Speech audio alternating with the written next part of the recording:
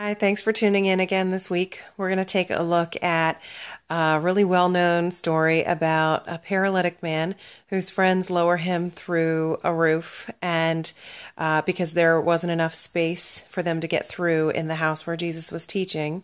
So, um, and then when he gets there, he gets inside, Jesus, rather than healing him, forgives his sin and then ends up healing him. So, um, I took a look at several aspects of this story, and um, I also watched a really great sermon that I linked in here, and I highly recommend taking the 30 minutes or so to watch it. I really liked it.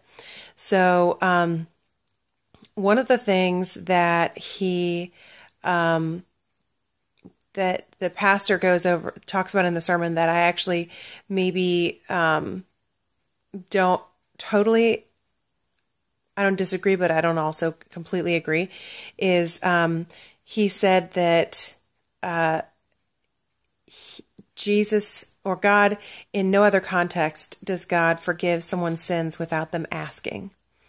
So, um, so he said that this pastor says that Jesus must have perceived some internal request. So in the same story, he perceives what the Pharisees are thinking.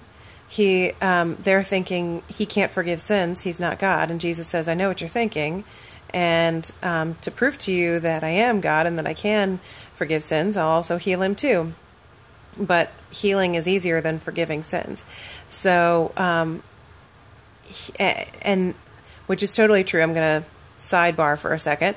Um, that God can heal out of hand. He can heal whenever he wants.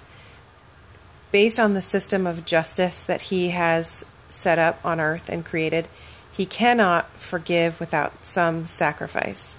So Jesus had to be the atoning sacrifice for sin, which made it far more difficult to forgive sin. Jesus foreknew that he was going to be that sacrifice and that sin was going to be able to be forgiven, but um, much more difficult to forgive sin than to heal.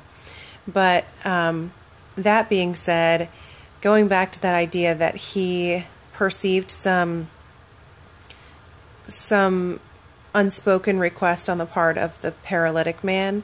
Um, all the accounts here say that when Jesus saw the faith of the men, he forgave the man his sins.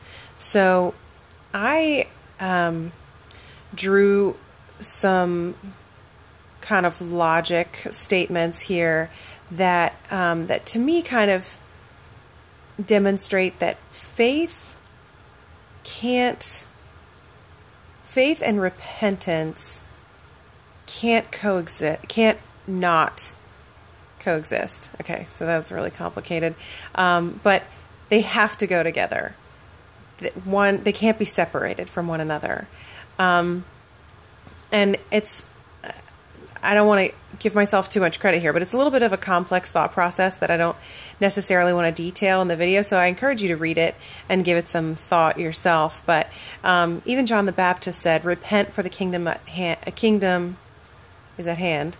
Um, so why would the nearness of the kingdom inspire people to repent? Because it was it it necessarily causes repentance if they have faith that the kingdom is there. So um, anyway, take a look at it. I hope you uh, follow what I'm saying in writing rather than the blubbering of my lips right now. But um, I just look at it and see see what you think. Thanks a lot.